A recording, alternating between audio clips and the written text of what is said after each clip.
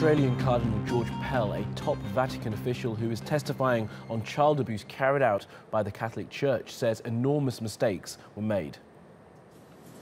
I swear by Almighty God that the evidence I shall give in this royal commission. Pell is testifying via video link from Rome due to health issues. He's the most senior Vatican official to testify on sex abuse in the Catholic Church, and some of the victims have flown to Rome to hear from, from Australia to hear it from him in person. Uh, let me just uh, say this as an initial clarification, and that is I'm not here to defend the indefensible. The Church has made uh, enormous mistakes and uh, uh, is working to remedy those. But the Church has, uh, in many places, certainly in Australia, has mucked things up, has made uh, let people uh, down. Uh, I'm not here to defend the indefensible.